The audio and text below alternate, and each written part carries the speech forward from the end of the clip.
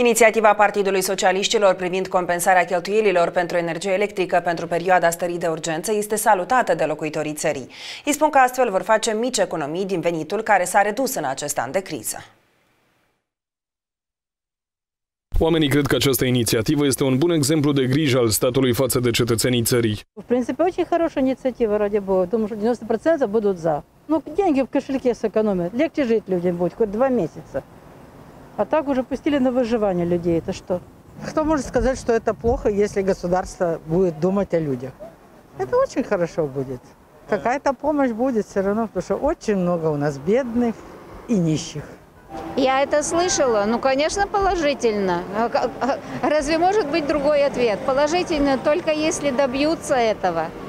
Потому что, насколько я слышала, даже в парламенте не все согласны. Спасибо им, тем, кто будут делать для нас, для пенсионеров. Спасибо большое. În special, inițiativa Partidului Socialiștilor i-a bucurat pe locuitorii din sate, dar și pe pensionari care au venituri mai mici față de orășeni. Cu un salariu așa de mic și acum, chiar acum, dacă scumpești e, energie electrică, pu, într-adevăr nu e posibilitate. Ca să-mi văd au doi copii mi- minori și am un salariu de la 0,35 de, s- care vin la școală și e foarte greu. Poate omul la moment n-are sau omul la moment, eu știu, mai ales ăștia care sunt pătrițe vulnerabili, mm, poate la moment chiar banii ceea nu are, țără și de bani nu are.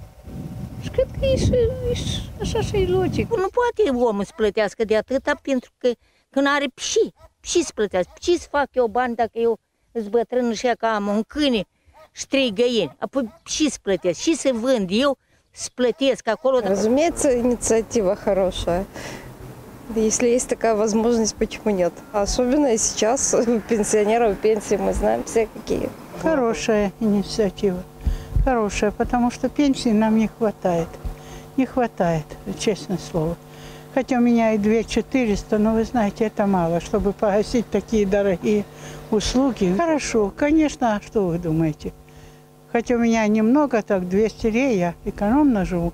Но, допустим, у других и больше бывает. А это уже какая-то копеечка для пенсионера, поддержка большая.